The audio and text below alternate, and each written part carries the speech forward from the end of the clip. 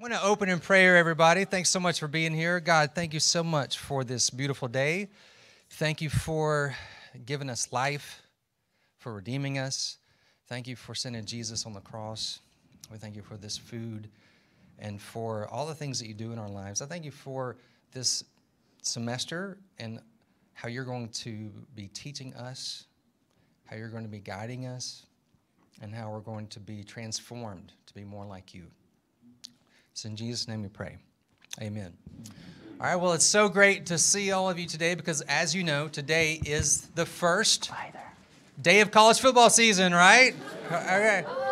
Oh, yeah, and JD Payne's here.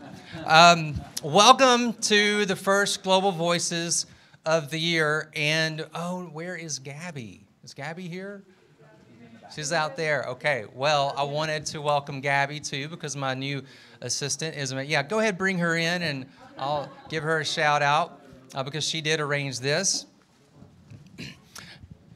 In the meantime, Dr. Payne taught for over 10 years at the Southern Baptist Theological Seminary in Louisville, Kentucky, where he was actually on my oral defense committee, unwisely signing off on my dissertation and unleashing me into the world of academia.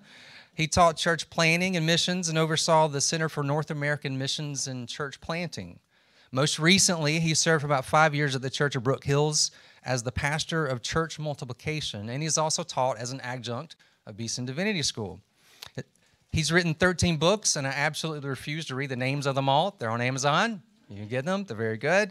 Uh, his wife, Sarah, is a physician at Christ Health Center in Birmingham. They have three children Hannah, Rachel, and Joel. I'm super excited to welcome J.D. Payne as the Associate Professor of Christian Ministries in the brand new Christian Ministry program. And while we're talking about that, I want to also recognize um, Kevin Blackwell, who works in the Christian Ministry program, Dean Joe Hopkins, who is uh, overseeing the program, um, and the executive director. Where's Scott? Is Scott here? He's teaching. Oh, he's teaching. What a slacker. All right. Uh, but he's the executive director of Christian Ministry Program. I'm super excited to see what God's going to do through this. Um, and Gabby, thank you, Gabby, for arranging the event and welcome you to Beeson Divinity School, Samford University. All right. Uh, you can follow JD on social media, his blog, jdpayne.org. You, you can listen to his podcast, Strike the Match. Please welcome today JD Payne. If I had known what Dr. Parks would have become of himself, I probably would have withheld the, the signature for you students that have taken him and been subjected to uh, his missiological torture in the, uh, in the, in the academic setting. But, uh, you know, you, you, you, can't for, you can't foresee those things, you know, that come down, down the road no matter how hard he, you know, he fakes out his professor. No, I'm just kidding. I'm just, I'm just kidding. I have thought very highly of Dr. David for for many years. And when I found out that he was coming here to uh, direct the Global Center, uh, I was elated. And then the Lord ended up calling me to Birmingham uh, after being uh, in Louisville, Kentucky for the decade. And it was probably about a year after I got here that we just reconnected. And so I guess that was probably five, I've been here six years, so I guess it was maybe five years ago or so. And it's just been really good to just to catch up and get to know uh, a, brother afresh and anew uh, once again. And so um, when he invited me to, to come and, and, and share at Global Voices today, I uh, was very excited. I'm very honored to, to be here. And I, I, asked him, I said, So what do you want me, what do you want me to talk about? And he said, um, Well, can you, can you share something on, on, on missions, but at the same time, can you also uh, maybe talk about the new Christian ministry program that you're a part of and it's just launched this fall uh, here at, at Samford. And I said, sure. And then it was, uh, I don't know, a short time after that, he said, we, well, we need a title for, for what you're going to say. And so I, uh, I, I came up with this the student, the university, and the mission of God.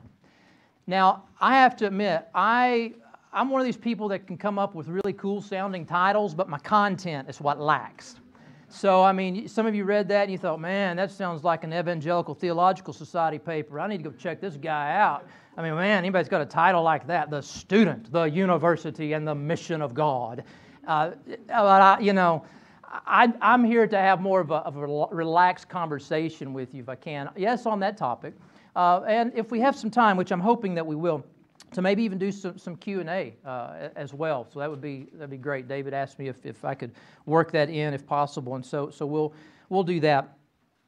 Um, let, me, uh, let, me, let me share a verse of scripture with you that I was reading through in my quiet time uh, last week uh, as I was have been going through the book of 1 Corinthians, and I came to the end of the chapter, and in uh, chapter 16, um, we see Paul, as he normally does with his concluding thoughts, coming to the end of many of his, his epistles. He, he, he, he kind of gives some of these side comments at times, but, it, but it, they're really insightful to what the Holy Spirit was doing at that point in time in history uh, in the advancement of the gospel. His disciples are being multiplied and churches are being multiplied all across uh, the world at that point in time. And he just makes this very simple statement about uh, staying on at Ephesus until Pentecost. And then in verse 9, uh, he says, For a wide door for effective work has opened to me, and there are many adversaries. And I just, during my, my time with the Lord, just meditating on this passage, that a wide door for effective work uh, was the phrase that I came across uh, uh, about the, the first day that I started here officially on, on the 20th. And I'm, I'm not saying that the whole development of this, this Christian ministries program is, is a, a wide door that, that doesn't exist or never existed with Samford University. But, but what I'm saying is, is I, I really do believe that the Lord ha- has given us another variation on the wide door that He has opened for us as, as a university. Uh, it's, it's, it's a different variation than where we've been in the past. And when I say we, I'm now considering myself a part of, uh, of the tribe, even though I am, I am uh, very much an, uh, a newcomer here. But, the, but the notion of, of a, a, sort of a new paradigm, a new way of thinking, of building on what's continuing on, um, was something that was just coming across my mind in, in this process as uh, we've been starting in the, in the fall semester. Um, you know, I, I want to greatly commend. Um, and, and very thankful uh, to Dr. Uh, to President Westmoreland and Provost Mike Hardin on their vision for this new program and moving things forward. However, there, there have been several other people that have contributed to the beginning of this new Christian ministry program that just, just launched. And I could go through a big list, list of names. Kevin Blackwell was, was a part of that with Ministry Training Institute, now connecting with, um, with the uh, uh Christian ministry program. Uh, but much of what I'm going to share today about what's going on uh, is really the, the, the heavy lifting of, of, of two men. Uh, Dr. Scott Guffin, the executive director of the program, and uh, Dr. Joe Hopkins, who's the dean of the School of the Arts. The, those two brothers have, have done an enormous amount of work, uh, are incredibly zealous about what's taking place, and provided incredible leadership and guidance and, and, and direction uh, to get us to where we are today, launching this here in, in the fall. and so, um, I want to, I want to share this quote with you that I, I heard R.C. Sproul say when he was speaking on what is a Christian college. Uh, he made this statement. He said, A Christian college or university is one that is committed to the premise uh, that the ultimate truth is the truth of God, and He is the foundation and source of all other truth. And everything else we learn, whether it is economics, philosophy, biology, or mathematics, has to be understood in light of the overarching reality of the character of God. Um, now, I agree with Sproul on this, but, but at, at, at the risk of, of me saying that I want to add something to it, I'm going to go ahead and say I'm going to add to, Dr. Scroll or Sproul, excuse me. Um, I would add one thing to his words here, and I would say all the fields of study that we pursue, yes, they have to be understood in light of the overarching reality of the character of God, and here's my addition and his mission in the world today. And the reason that I would add that statement, uh, that latter phrase, is that, that somehow in, in the study of the character of God, we, at least here in the States, I believe, have a nasty habit of omitting his apostolic nature. And so, you know, conversations about the nature of God, the, the Missio Dei particularly, the mission of God, uh, really began to, to pick up uh, a little bit of attention when, uh, when uh, Karl Barth popularized the, the, the, discussion in the 1930s. And then fast forward, I won't go into all the history, history there, um, but fast forward to the turn of the, the, the 21st century, uh, you really begin to see a lot of people having this conversation about about the mission of God. And, and while we, we read these massive volumes that have been written in the past few years on, on mission of God, God's mission, things of that nature, uh, we, we, we still, I find uh, many times, end up talking about the nature of God and, and still leaving out that apostolic aspect of his character. And even more so, the, the practical outplay, the, the practical implications for the church as, as she is joining God on his mission in the world today.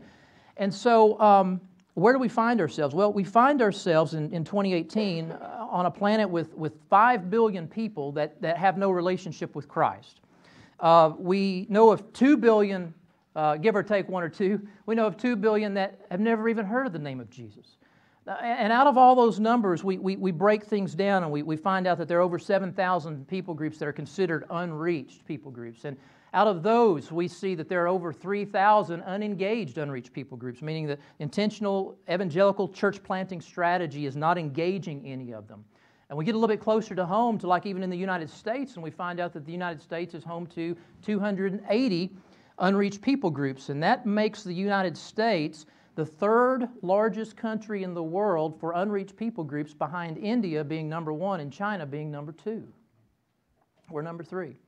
And Canada's number six. So, so, so nor, the two, two countries in the North American landscape uh, come in at, at third and sixth place for the largest number of unreached people groups in the world. And, and yet we have a lot of conversations about God's character. Maybe we have some conversations about the apostolic nature of his character, but then what's that doing practically speaking on the field and how, how is that playing out? So, as I uh, was in the process of talking to Drs. Hopkins and uh, uh, Dr. Guffin, I was delighted to find out uh, that these two brothers shared a very strong desire, uh, reflected in, in the desire to have a, an undergraduate program of study that was both theologically grounded in biblical truth and, at the same time, highly practical. And with a great deal of emphasis on disciple making and missions. Uh, it, was very encouraging, very exciting to, to, hear that. In addition to, to that excitement that, that I uh, heard from these two brothers as we had conversations, there, there, were, there were two other things that came about uh, that really excite me about being here at Samford and being a part of, of this new endeavor. Uh, the first one is the opportunity to, to help uh, be a part of building uh, a Christian ministry program, Christian ministry major, uh, from almost from scratch. Uh, I, I just am really excited about that, that pioneering aspect and things of that nature. And uh, last week uh, we had uh, six students to declare their major in Christian ministry, kicking off the August you know, incoming class. And so that was quite, quite exciting. i have been going around telling everybody that, you know, with within about a week or two period of time after this was announced, we had a 600% growth increase. And so, you know, there's that pastor and church growth numbers coming out of me. I'm sorry, but you know, it's true. But anyhow, but six, I mean, it's encouraging. So I, that, that, that excites me. I'm excited about that. I'm excited about us as a university being able to have a, a variation on an open door that the Lord has set before us. Uh, to be able to, to see the, these students and, and, Lord willing, others in days to come. But there's a second thing that excites me about what's going on, what the Spirit is doing among our family here at Samford, uh, and that is there's the opportunity to, to be able to assist in preparing the Samford community, not just Christian ministry majors, not just those in the Christian ministry program, but an opportunity uh, to assist in, in, preparing, helping the Samford community uh, for global disciple making, regardless of, of what major uh, the student is involved in. Uh, and whether that student is, is serving in Birmingham, across North America, or throughout the world, to be able to, to have a small part to play in, in helping others see a vision of, of, of God's great nature, His kingdom expansion, and their role in being able to take their marketable skills and their marketable degrees and be able to go into the marketplace, whether it's here, whether it's across North America, throughout the world, in the areas of, of, of, greatest needs for lostness, greatest needs for spiritual needs as well, and, and be able to see the advancement of the kingdom of God. And, and I realized that, that, that that slice of the pie, so to speak, is, is, is a much larger slice of the pie than, than those that will in all likelihood be Christian ministry majors. And, and that's, that's sort of the case with the body of Christ, right? I mean, I know I'm speaking to many Beeson students here. And I know when you're always around seminary students and you're talking to pastors all the time and missionaries all the time and other church leaders all the time, you, you begin to think, everybody's a pastor. You know, it's, it's like everybody's a missionary. Everybody, everybody is, a, is an elder. And then you realize, wait a minute, I am a very, very small, small portion in, in the body of Christ. And so recognizing that we as a university have this incredible stewardship, and it's been there since the, the university's uh, origin, uh, the opportunity to be able to help shepherd students uh, to the field, wherever they're going, and, and, and to recognize that, that God has not just given them the opportunity to make a living and contribute to a better improvement in, in, the, in the civic world, though that those things are important, uh, but something even beyond that, to be able to be a part of going into all the world and making disciples of all nations and baptizing them and teaching them to obey all that Christ commanded. And even in the process of, of for example, church planting, uh, not only in disciple making, which all believers need to be a part of and be, be equipped in, but the whole notion of church planting, seeing churches birthed out of the harvest of unreached people groups, whether they're down the street across North America or throughout the world, it's only a small step away from disciple making. That's what we see throughout the New Testament. And while not everyone is obviously a church planter, just like not everyone's called to be a pastor, I believe that there are a lot of economists that will come out of here. There are a lot of teachers, a lot of educators, a lot of nurses, there are a lot of artists that will come out of this university, and they will be the next church planters. They will be the next folks that are out in the highways and hedges of lostness in Birmingham, across North America, throughout the world, and they won't look like the traditional route that I went, and maybe some of you are used to. Uh, in other words, they will find themselves uh, out in the world, uh, in the world of, of drama and dance. They will find themselves in the world of medicine and technology. They'll find themselves in the world of computer science. They'll find themselves as politicians. And yet, at the same time, in that journey and in that process of walking the halls and walking the campus at Samford, the Lord was working through the Samford community to stir in their hearts something greater than me just being able to get a paycheck, you know, because now I'm a history teacher but something beyond that. And it'll look different. But yet, it will be about the advancement of God's kingdom and His mission playing out as a result of what happened on the university campus while they were here. If you go back and you look in, in just U.S. history, for example, and even elements of European, Western European history, you find out that oftentimes, not always, but oftentimes, uh, some of the great awakenings, some of the great revivals, some of the, the great missionary movements, if you will, uh, in church history occurred where? On the college on the university campuses. And, and could it happen again? Could, could Samford be a part of that, of, uh, of seeing the Lord's Spirit move in such a way that, that women and men you know, go out from here? And again, whether they, they go across the street or across the continent or across the world, they're taking those tools that, that they've developed while they're here, and, and they're not just contributing to an office culture, an office environment, but they're really engaging and seeing disciples made in that office environment, in that culture, and in that world. Yes, will there be those that will, will go out and go the traditional route? Absolutely. And I'm excited about working with those. I'm excited about working with our, our majors in our, in our, our um, Christian ministry program. That, that, that, that is, that's my passion. That's my background. That's, that's how I'm wired. I came through a very traditional route 19 years of pastoral ministry, excuse me, um, you know, 10 years uh, uh, full time teaching. Uh, another seven or eight adjunct teaching, part-time teaching on top of that, but, but always in a very, very traditional kind of ministry approach and model, even when I was involved in church planting activities. Um, but, but the future, the future, what, what, what are the possibilities of seeing the, the mission of God uh, being carried out through, through what he does through his people at Samford University. That's, that's an encouraging thing for me. I'm, and I'm praying for such a movement of his spirit. And I'm praying for our hearts. And I'm praying for our students and, and to be able to know that there are men and women across this campus that I can lock arms with and partner with in that endeavor, that, that excites me. So let me share a little bit about the, the program uh, since, since, I was asked to, to, to comment some on it. Um, I'll share with you five distinctives of this program uh, that may be helpful for you to, to be able to get a better understanding of what is this Christian ministry program. Um, now, trust me, I'm not expecting you Beeson students to say, man, I just need to go back and do another undergrad degree. You know, not getting enough, you know, I've got too much time on my hands. I'm only taking, you know, all these Hebrew classes and Greek. I need to go back and get another undergrad. I'm not, I'm not expecting that. Um, but I want you to hear what, what the Lord is doing. And, and, I want, and I'm to and I'm to share some things just at the end that I think will be some challenges to all of us, whether we're faculty, whether we're staff, whether the, we're, we're students here, whether we're at Beeson, whether uh, uh, you know the undergraduate program, um, wherever we, we fall into this family at Samford University. I want to share some things that I think will be some challenges for us to kind of take away.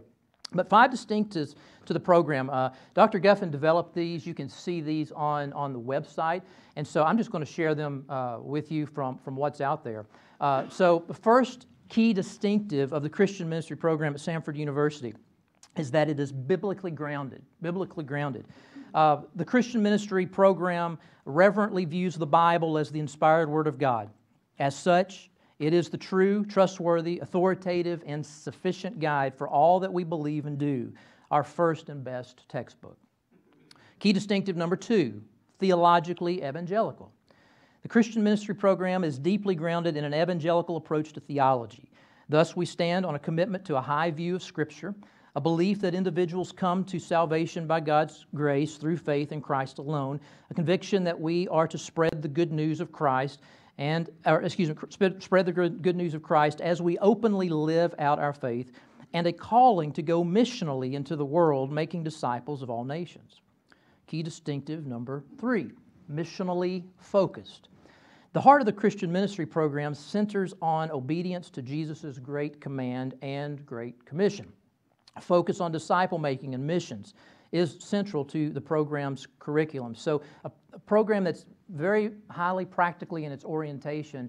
Uh, one of the things that I heard Dr. Guffin say many times is the desire for disciple making to be a part of that. And so students are actually taking courses in, in disciple making uh, in the very early, in the very beginning of their, uh, their program of study. Uh, key distinctive uh, number three Baptist connected. Samford was founded as a Baptist university.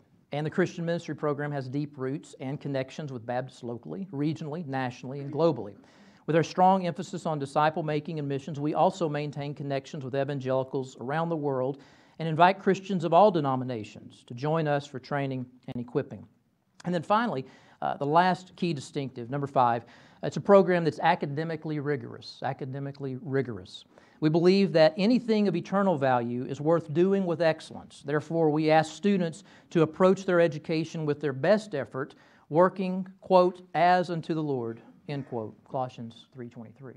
So if you, if you want to get an understanding of, of what is this new program it's about, what is this, this new, new thing that's happening on Samford's campus about, uh, that's really what it's about. Those five key distinctives really help unpack it, that, that there's a high degree of, of practical hands-on training, uh, and again, a, a, lot of this uh, is, is really fresh, and some of it is being developed in the process of time. And so we have we've been, been not only developing or have developed a Christian ministry major that's already been approved, but we're having conversations uh, with other departments, with other, school, with other schools on campus, with other faculty members, and we're asking so, how can students remain in your school, uh, remain in the major that they're, they're doing, and how can we be of help to them? How can we help deliver training to them? How can we help deliver equipping to them? Uh, maybe it's in the form of a minor. What would that need to look like? Maybe it's in, in the form of, of, of, some kind of certificate. Maybe it's in the form of some kind of concentration or something of that nature. And so we're having these conversations, and I, I've been very encouraged to hear across disciplines and other fields of, of other members, even some here in this room of other departments, saying, you know, we want, we want our students to go out in this field, in that field, in this field, to be able to, to use their, their talents, their abilities, their passions, their gifts, the major that, that the Lord has led them to. And at the same time, we want them to have this kingdom vision of the mission of God, and we want them to have some hands-on skills that they can take with them wherever He may, wherever he may call them. Uh, and so, so pray for us in that endeavor. It's, it's an exciting, exciting time. So let me do this. Let, let me share uh, maybe some challenges for us, and then we'll, we'll take do some Q&A before we wrap up this, uh, this afternoon. So let, let, me, let me talk for just a second uh, to, uh, to any Samford undergrads that may be, be here in the room.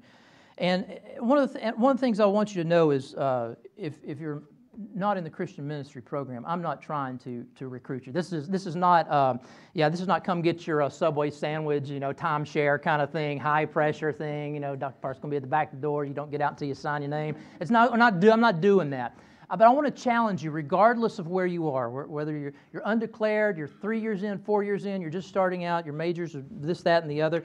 Um, I want you to, to understand that in light of being students at this university, um, here's the question for you. What will you do now? What will you do now at this moment in history, in this moment in time, to best position you, to best position you in the global marketplace? How will you best position yourself in that marketplace that exists around us? What are you doing now? to make that happen. And um, at the same time, how is the notion of glorifying God by making disciples of all nations wed to what you're doing to best position yourself at this moment in time in the global marketplace? So, what's taking place? Another thing I would encourage you to think about as an undergrad take advantage of the women and men on this campus who are here to shepherd you and help you in this journey to the field. Uh, this is something that I believe is so often overlooked with so many students. Uh, there are brothers and sisters on this campus that are just aching to help you in this journey. And they want to lock arms with you, and they want to be there for you, and they want to help walk with you. So take advantage of this incredible resource of people, the body of Christ that the Lord has placed on this university campus while you have them during this moment in time, because in all likelihood, you won't have this opportunity again. Now, you may go on to do advanced studies and other things, but in all likelihood, this is, this is it. And so, so be a wise steward, be a wise kingdom citizen with this moment that you have while you're here at Samford University. Um, I would also say to you, as, as undergrad students, be a student of global realities of lostness and ask this question Where and how can my marketable degree overlap with the greatest needs for disciple making in Birmingham, across North America, and throughout the world? regardless of your field, regardless of your major, where, where does that overlap with the greatest needs on planet Earth for just that very thing. And I would begin to encourage you and challenge you to, to take that to the Father and begin asking, Lord, what would you have me to do in light of this? Uh, you may, it may be okay. I know that the Lord is, He's going to keep me here in Alabama. He's going to take me to the great metropolitan area of Opp. And I'm going to move to Opp, Alabama. There's nothing wrong with Opp, Alabama. I grew up in a town of 7,000. I think that's probably, what, 12 times bigger than Opp. But anyhow, it's another story. Um, I grew up in Kentucky. But um, um, wherever, wherever He places you, are you asking that question as a wise kingdom citizen? You've given me this ability to be in the marketplace. Where's the greatest needs? Where you've placed me? Where do those overlap for disciple making? Now, let me, let me talk to the Beeson students. Let me talk to Beeson students, um, faculty, staff, other members of the university community. I'm just going to lump all of us together. Um, and that is you're, you're not an undergraduate. Many of you in this room uh, have positions of leadership in local churches. Many of you are serving on staff. Some of you are elders, some of you are pastors. You're, you're getting ready to be, Lord willing, in such positions of leadership. And, and I want to, I want to ask you some things to think about and draw out some points for, for all of us as well. And that is, do you see, do you see the incredible opportunity of being able to shepherd your students your students to the field. That's an incredible opportunity. Most churches, that's not on their radar screen. Most believers, that's not on their radar screen. Um, I, we don't have time for a survey, but growing up, I mentioned I grew up in a small town in, in southeastern Kentucky. I remember when, when the Lord was, was, was stirring in my heart and calling me into vocational ministry, and I ran from that. I, I did not want to go in that direction. And then I, I realized that if Jesus is Lord, I cannot say no. And if I keep going in this direction, one day I may wake up in the belly of a big fish. And so when I repented of my sin and said, Yes, Lord, wherever, uh, I began doing the natural thing that you all did as well, and that is you begin to ask questions and you begin to say, Where can I find resources and who can help me? And I remember I had some great, great pastors growing up, but they, and, and they had been through a similar experience, but they didn't know what in the world to do with me. Now let's stop and think about this for a second. I'm, I'm speaking to mostly church leaders here, I am, uh, just because of the nature of the audience here. And that is, if we value that high position of that Ephesians 4 11 and 12 calling of pastor teacher, okay, apostles, uh, prophets, evangelists, pastor teacher. So um, if we value that, that as a very high position of significance leadership, and yet, uh, and yet I believe that many of our churches do very little to help those that are called into the, that direction, very little to help shepherd them to the field. How much less are we doing with the men and women that make up the other 99.9% of our membership in our churches. And so we're saying to these high school students, well, do whatever your guidance counselor says. Uh, what's been your family tradition? Yeah, go study that. Uh, what are you interested in today? Yeah, that's what you should do. The, the, decision of, of, of declaring a major, as you well know, is, is one of the most life changing decisions you'll ever make. It will set the trajectory of your life for many years to come. It is a huge kingdom stewardship to make this a very wise decision and a very important part of our ministries to shepherd people to the field. And so I would begin to say, are, are you seeing the opportunities for the students that you work with in church leadership roles and faculty on this campus in your departments, are you seeing the opportunities, even though they're already here, they're still, most of, most of them are not where they're eventually wanting to be. Are we seeing those opportunities to help shepherd them to the marketplace, shepherd them to, to the field? And so I would say, particularly for those of you that are, that are within local churches, I would say long before graduation day and they leave high school, think about how can you lay that foundation, give your students the whole counsel of God, teach them a biblical worldview, and teach them how to apply the word. Can you, can you do that long before graduation day? Can you also develop within them, teach them, equip them disciple making skills? And for many of them, church planting skills, though not all will be involved in that ministry, but definitely disciple making skills.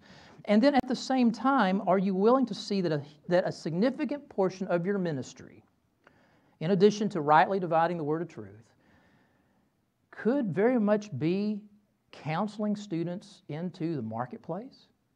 Let me think about it. Why, why would we ever want to leave such a great decision for kingdom advancement and, and seeing the mission of God being carried out? Why would we ever want to leave that up to secular guidance counselors? I mean, why would we want to leave such a major decision that has eternal ramifications? Why would we want to leave that up to uh, just the whims of youth or family tradition? I mean, how much do we encourage them to bring, bring God into that conversation?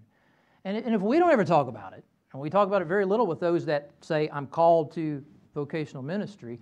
You know, how much more so can we do with, with, with others that are not in the, the, the Christian ministry major, so to speak, or going on to seminary and things of that nature? So I want to I want to leave us with that, and uh, maybe we'll spend a few moments maybe talking, doing some Q and A and things of that nature. But um, but very excited, very excited about about what the Lord has been doing here in the, having a, a, small part to play in this opportunity to be able to work with, with men and women that are going in the more full-time directional route through our major, but then at the same time being able to reach out and touch base with, with other men and women that are uh, desiring to, to think about the mission of God in the marketplace through their vocational skill sets that they obtain uh, through other degrees. And so, uh, Dr. Parks, maybe do you want me to turn it back over to you, or what do you want, you want to do, do, the roving microphone if people's got questions? How do you want to do this? That's, that sounds great. All right, well, we got a few minutes for Q&A. I've got a class at 1 o'clock. I know the schedule says we're done at 1.05. My students won't start without me, but just to give you a heads up on it, I'm watching the clock, so.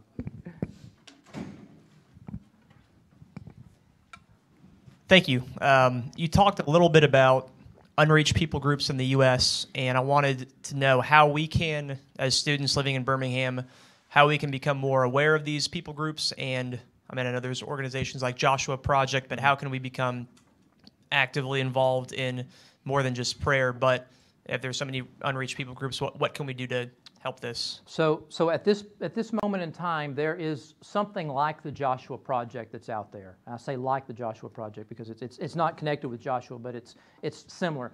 Um, it's called peoplegroups.info, and uh, if you go there, you can find out. Uh, data that's at this point in time it's about four years old on birmingham of groups that have been identified in the birmingham area and locations and things of that nature so, that, so you have that, that kind of resource. The, the other resource is that there are so many churches in the area that are doing some outstanding things uh, with um, unreached people groups that are here in the city. And Dr. Parks would be able to put you in contact with many of those that have already got some excellent things going on. But check out peoplegroups.info as well.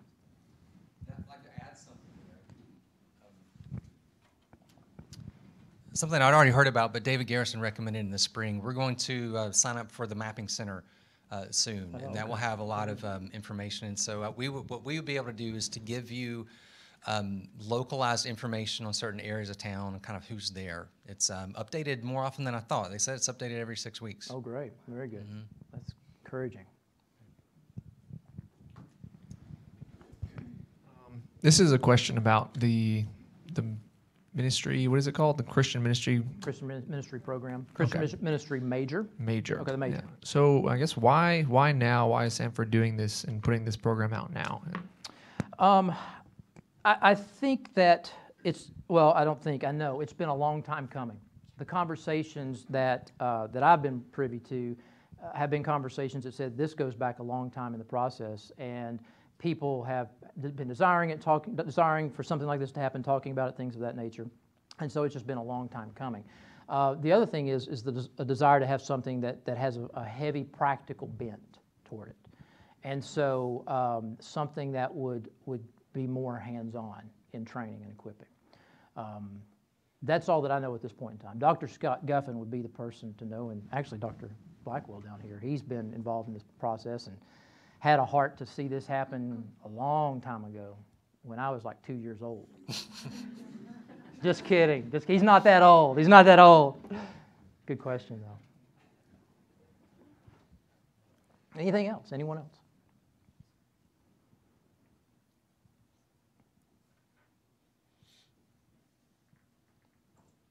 Not even Gloria. Is there a field experience portion of, of We're recording this. So. Oh, sorry.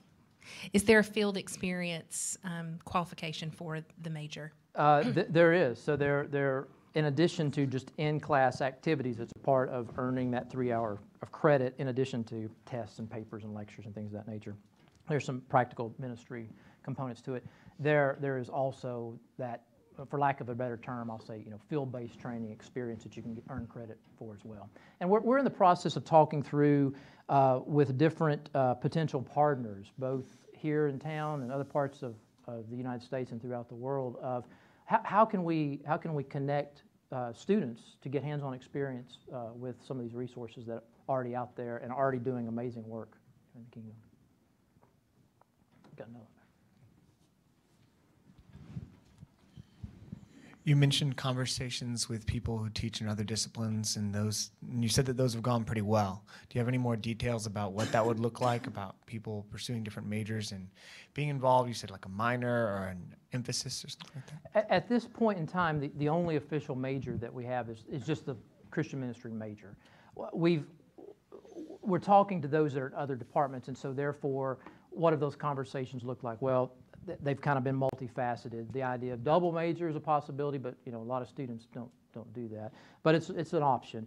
We're talking about minors. So, like for example, something that we talked about in a in a treat that uh, Dr. Blackwell and I were, were, were in with some of the other guys about maybe having something that's that's a missions minor. Um, I came up with a great term, you know, cultural engagement, you know, minor, something like to that effect, whereby some of these students in these other fields could get the training, the, the, the biblical training, missiological training, hands-on training, and it wouldn't necessarily show up on uh, a, a record that would be overtly Christian and therefore could potentially cause them some issues in certain countries of the world. And so maybe something that doesn't have the name missions minor on it, but something uh, that would be more palatable to other parts of the world. So we're talking about that. We're talking about, okay, so can we deliver individual classes? Can we, you know, is there a possibility of doing things that maybe concentration related? The uh, Ministry Training Institute, because they do so much related to, you know, certificates. Uh, we're asking questions about, you know, are things that we can do in, you know, in relation to maybe something certificate related. So there are a lot of questions up in the air, uh, which to me that's exciting because the wheels are turning, and so we'll see how things go in the days to come. But I appreciate you asking that question. That's good. Is there a reason it's in the School of Arts as opposed to a different division at the uh, university? Yeah, I think he wants to get that on the recording. Sorry, I heard you perfectly, but the the the, peop, the audience that's playing at home, you know, they didn't get a chance to hear.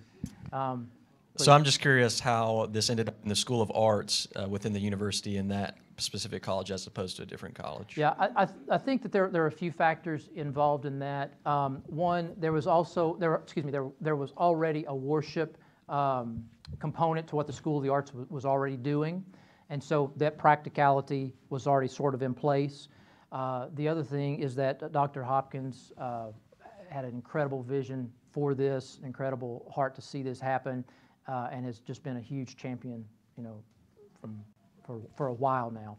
And so the, the emphasis on the on the hands-on, the practical uh, connects well with the, with the School of the Arts and with the School of the Arts already having something related to worship leadership, worship ministry, it just, it just kind of connected there. Now, I thought I was going to come to, uh, to uh, um, Samford and in my office, you know, I'd be sitting here, there'd be my office, There's the missiologist sitting here, and then the office next to me is a bassoon player. You know, uh, it, it didn't happen, but, uh, but you know, I, I dreamt that that would be a, kind of a cool thing, you know.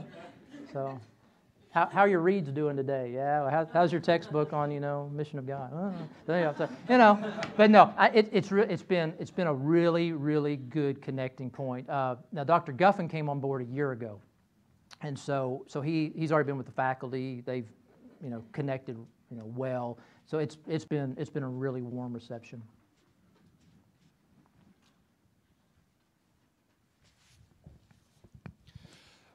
Well, okay. Um, Thank you. Renee Pitts has been leading a program called the Global Mission Scholars Program. She and Brian have been shepherding students to the field for a while, informally so. And so I'd like to ask Renee, please um, it, close us in prayer. Right.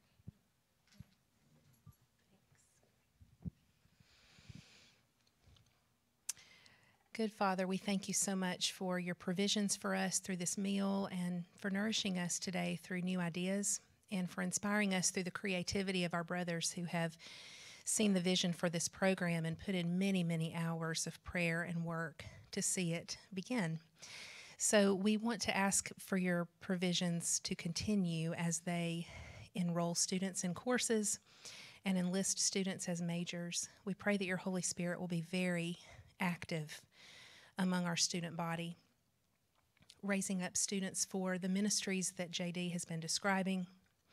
We believe that this is your work and it's work that only you can accomplish. So we entrust these faculty members to you. We trust the resources that will be needed to grow the program to you. We entrust every word that will be spoken in these courses to you. And most of all, Father, we entrust the lives of the students that you are calling to your service in this world to you. We thank you that you are Lord over this university and that we can trust you for its future. And we thank you for this time together. In Jesus' name, amen.